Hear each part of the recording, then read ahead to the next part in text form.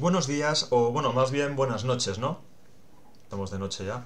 Eh, hoy hablaremos del A10 o de al menos cosas interesantes de este aparato porque, ojo, cuidado que aquí hay chicha de que comer, ¿eh? En fin. Dentro intro.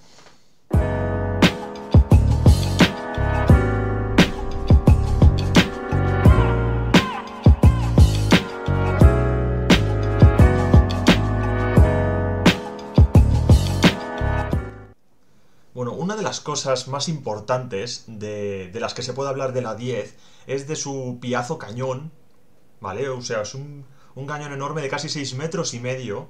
Sí, sí, habéis escuchado bien. 6 metros y medio y casi 2 toneladas que dispara bricks de leche. Nah, es coña, hostia, no me jodáis. Eh, no, pero fuera de coñas, ¿eh? Dispara eh, balas perforantes. ¿Vale? Porque ahora os cuento todo, ¿vale? También balas trazadoras hace como un mix, ¿no? Eh, están hechas esas balas de uranio empobrecido y miden unos 30 milímetros.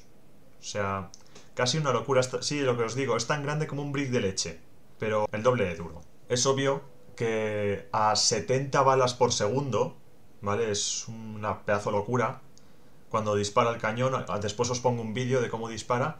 70 eh, balas por segundo con uranio empobrecido eh, prácticamente destroza un tanque.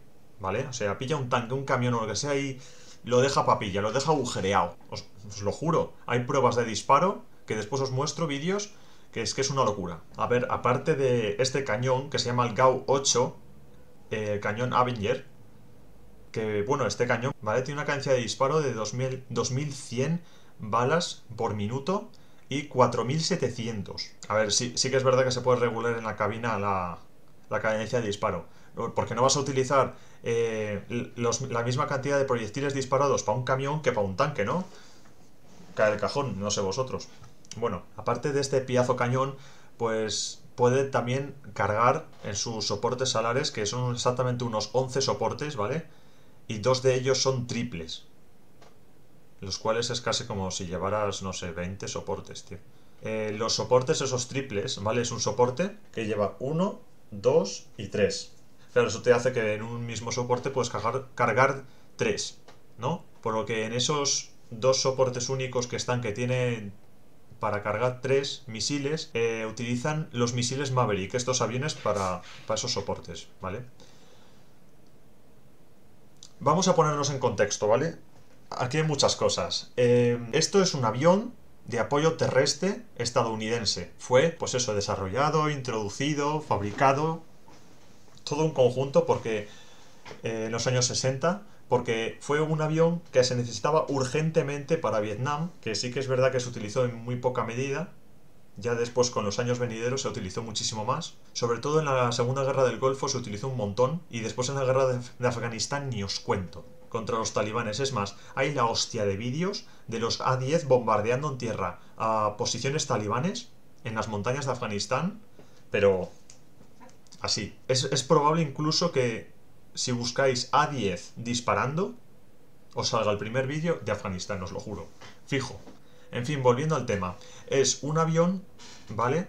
El cual es un avión muy especial debido a que su carcasa, lo que es la carcasa, la carrocería, como querráis llamarlo, eh, está hecha de titanio y de boro, ¿vale? Son metales pues muy densos y bastante resistentes a impactos, ya que, hombre, no estamos hablando de un caza, no necesitamos, no necesitamos eso, un caza, necesitamos un tanque, literalmente, un tanque volador, con un piazo cañón, un piazo armamento y obviamente pues unos blindajes espectaculares, ¿no? Aparte de eso, eh, aparte de tanto el cañón perforante, que es que es una locura.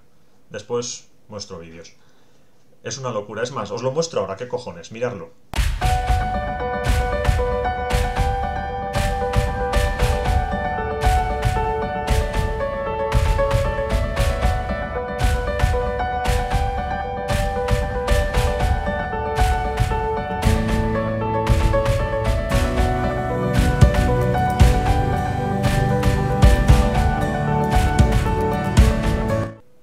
Ese cañón como eh, los misiles Maverick también puede llevar misiles de defensa aire-aire, ¿vale? En caso de por ejemplo, pensar que el enemigo despliega eh, tropas, bueno, tropas, despliega una flotilla pequeñita de helicópteros, ¿vale? Para desplegar tropas en tierra. Bueno, pues el A-10, con algunos misiles IM-9 Sidewinder, ¿vale? Que son, eh, para el que no lo sepa, misiles guiados por calor, podría disparar a esos helicópteros perfectamente y así, pues, disminuir las tropas enemigas para tus aliados. Pero ese no es el cometido principal del aparato. El cometido principal es cazacarros. Cazacarros, sí o sí. También es verdad, puede pillarte unos camiones, te puede destruir unos camiones antiaéreos con los misiles Maverick, pero principalmente tanques. Porque eso en un principio fue ideado para eso, ¿vale? Aparte de Vietnam, los que diseñaron este tanque volador, ¿vale? Pensaron, imaginaros que estalle la guerra eh, mundial, la tercera guerra mundial contra la Unión Soviética. Mirar cuántos, cuántos tanques soviéticos hay, es increíble, tienen más que nosotros. ¿Qué hacemos? Pues podemos desarrollar un avión de ataque a tierra. Pues así nació el A-10, con el propósito de destruir los tanques soviéticos. Pero claro, eh, espero que como todo el mundo sepa, la Tercera Guerra Mundial pues no ocurrió y no entró en servicio eh, con la, proposición de, de la que nació, ¿no? Pues de apoyo a tierra, sino de destrucción de tanques, sino que al final acabó dando apoyo a tropas en Afganistán. Las vueltas que da la vida, ¿no? En fin, como os había dicho antes, eh, pues eso, utiliza el cañón, utiliza misiles Maverick, eh, los Sidewinder también los utiliza. de temas de bombas, también utiliza las bombas guiadas por láser GBU y las Paveway, son muy precisas. Por cierto, esas bombas em, fueron utilizadas por el, mítico y el increíble y espectacular y todos los adjetivos que querráis ponerle al F-100... Perdón, al F-117 Nighthawk, que fue uno de los bombarderos, pues, digámoslo así, más especiales de la Segunda Guerra del Golfo, ¿vale? Y especiales me refiero ya que tenía que volar gracias a un sistema computerizado de alta tecnología, porque manualmente era muy complicado y perdía el control fácilmente. Os dejo aquí ahora mismo una foto de ese avión y os podéis ver que es idéntico, idéntico a la punta de una flecha. Es que es idéntico.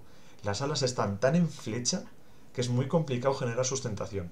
Pero bueno, no, no nos enrollemos que nosotros aquí estamos. Este vídeo es para la 10, no, no para el Nighthawk. Aparte de, este, de toda esta piazo y amplia gama de armamento, ¿vale? Eh, es obvio que como contramedidas puede llevar tanto bengalas como chaff. Las bengalas son contramisiles guiados por calor, ¿vale? Porque hay dos tipos principales de misiles. Los guiados por calor, que es el que habíamos hablado antes, el Sidewinder, como el AMRAN, que es guiado por radar. Ah, estos dos son ambos eh, de fabricación estadounidense. Obviamente también lo hay de, su contraparte rusa.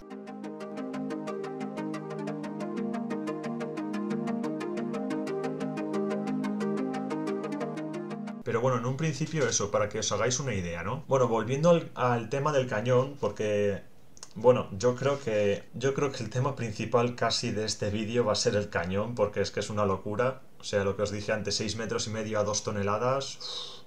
ojo, cuidado, ¿eh? Es casi como un autobús. Bueno, pues este piazo cañón, en la tolva, En la tolva me refiero en el cargador, ¿vale? De la ametralladora, puede llevar casi 1350 rondas, ¿vale? Obviamente no creo que se vayan a gastar todas, pero se hacen ráfagas para no gastar todo el combustible. O sea, todo el combustible, coño, toda la munición. En un principio estos aviones pues no operan solos, ¿vale? Siempre van en patrullas de dos. Por un lado está el, el jefe de la patrulla y por el otro lado está siguiéndole el wingsman, el Wingsman es el ayudante, digámoslo así, el ayudante del jefe de patrulla. Bueno, ¿cómo funcionan estos dos tíos? el primero, el jefe de patrulla, realiza una pasada primero con la ametralladora, para que todo Dios en tierra, todos los enemigos en tierra, se fijen en él, ¿vale? Pasa el avión, pero como todos están al avión que ha disparado primero, no se están dando cuenta de que viene otro por el otro lado con las bombas, que esas son, esas son las que joden. Cuando viene con las bombas y las sueltan, eh, la mayoría del enemigo está palmado, está muerto, ¿vale? Pero viene otra vez el jefe, el primero que disparó, y, este tío, con la ametralladora, se los carga a todos, a todos. Esta táctica fue utilizada eh, ampliamente, muy ampliamente, por el Cuerpo de Marines de los Estados Unidos en Afganistán. Es más, hay vídeos. Mira, este vídeo que os voy a poner ahora mismo es sobre un ataque aéreo que se realizaron de eso, por parte de los marines contra los talibanes, contra posiciones talibanes. Aquí os dejo el vídeo. Y escuchar por favor el ruido de la ametralladora, una puta locura.